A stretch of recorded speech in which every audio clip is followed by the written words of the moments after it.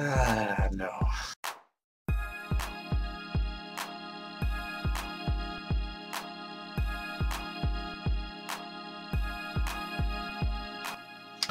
Hey, what's up everybody? It's Mike here. I'm back with another video.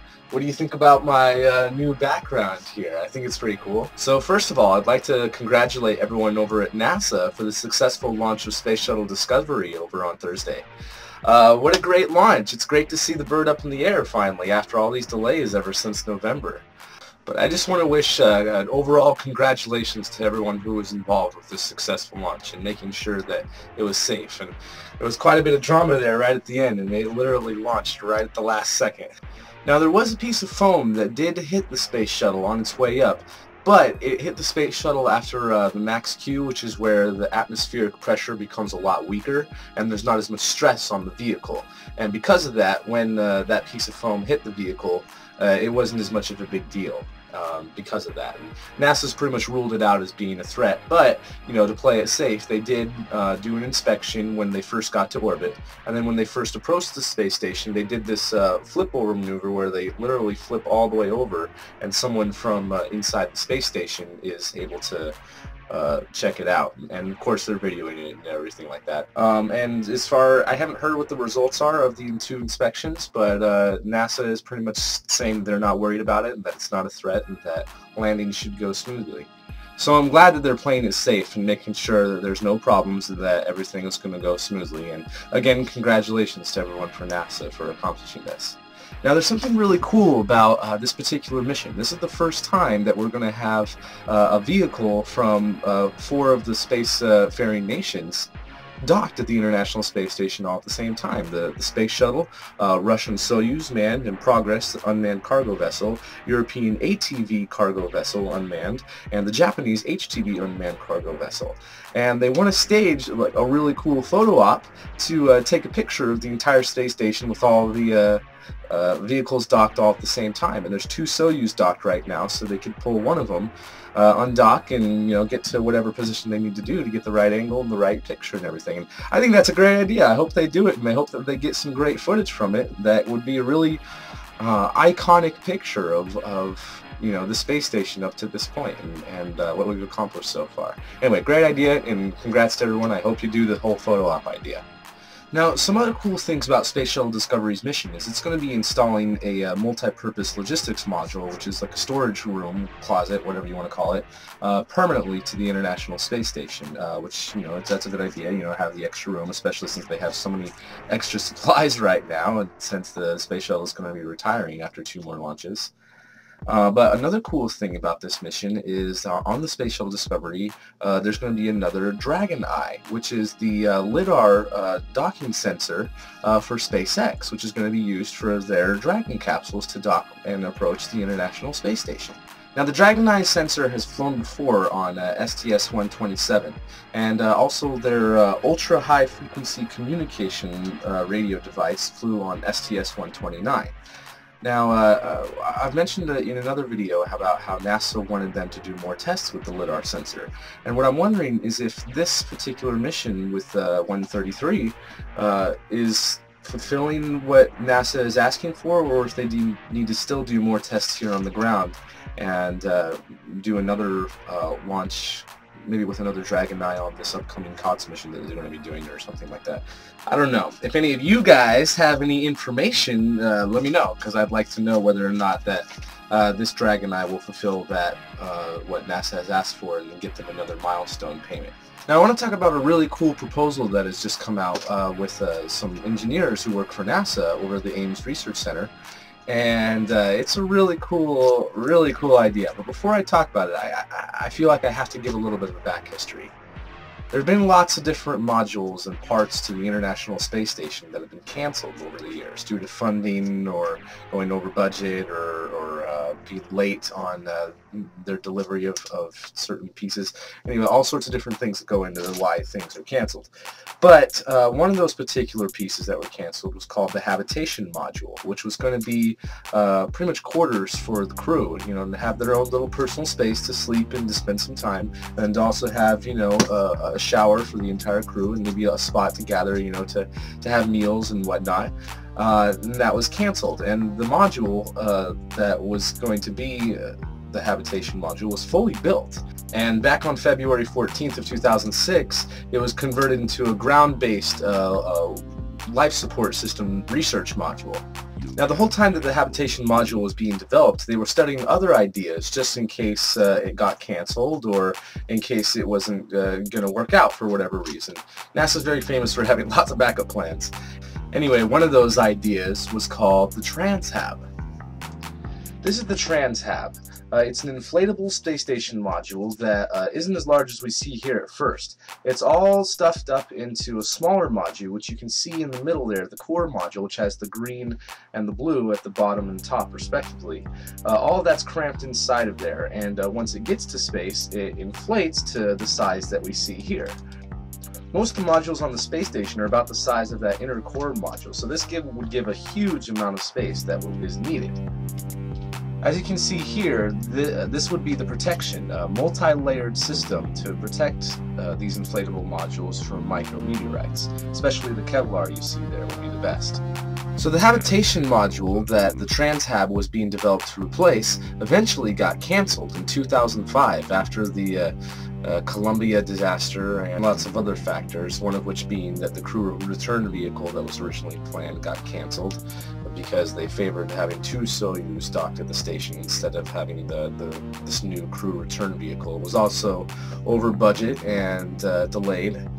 Anyways, um, before the habitation module even got canceled, which got canceled back in 2005, uh, the TransHab, which was the inflatable, got canceled way before that, back in 1999. And just like the, the Constellation program is taking such a, uh, a long time to get wrapped up, I, I suppose. Uh, the same thing happened with TransHab, and it wasn't officially till 2000 that it was, you know, finally Congress outlawed NASA from developing that technology any further. Now enter Bigelow Aerospace. Bigelow Aerospace was started in 1998 by Robert Bigelow, who is a contractor and a hotel chain owner. I'm not sure at the time that he started his company what he had in mind to do for his designs, but uh, uh, two years later, in 2000, when the TransHab program was officially canceled by Congress, Robert Bigelow, through three Space Act agreements, bought the, the patent rights to the inflatable TransHab technology and also made it so that his company would be the sole company that could commercialize the rights to these patents and started to further development of the technology with Bigelow Aerospace. And they added an extra protective layer to the design called Vectran, which is pretty much double strength Kevlar. And they also developed their own solar panels, and as you can see in this photo here, their power bus, which has the thrusters to be able to maneuver around and to make sure it doesn't get pulled, sucked into the Earth's gravity, um, which can be seen better here um, over there to the left. And also you can see that it's connected to the docking hub uh, where the modules and visiting spacecraft will uh, dock at. Those pieces are what's going to make space stations like this possible. Now, as far as I know, that propulsion bus and uh, docking hub aren't constructed as far as I know, but they may already have a few of them. Um, what they're mainly working on is developing the inflatable technology and having the Vectran uh, layer added to and just being able to do the whole process. Now on July 12, 2006 they launched their first subscale model, Genesis 1 and uh, everything was a complete success, it inflated like it was supposed to and everything worked out great. And it's still on orbit right now it, and I believe that it's still working and everything's going great with it.